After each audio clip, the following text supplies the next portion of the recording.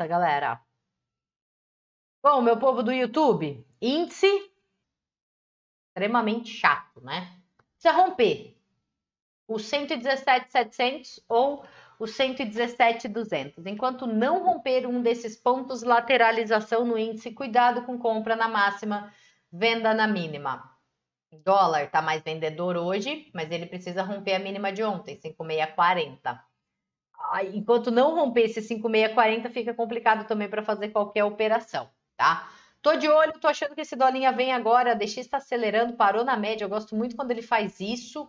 Um, daria para fazer uma entrada adiantada, que já teria acionado, ou então esperar realmente o rompimento. É o que eu vou fazer agora que eu tô de fora, beleza? Então é isso, galera. Espero que tenham gostado. Hoje o dia um pouquinho mais ruim, né? Não foi tão bom. Foi um loss no índice, um loss no dólar e 0 a 0. Amanhã estamos de volta, a partir das 8 com a análise do Swing Trade e às 9 com Day Trade. Se você gostou, deixa o like. Nos vemos amanhã novamente. Um abraço a todos e tchau!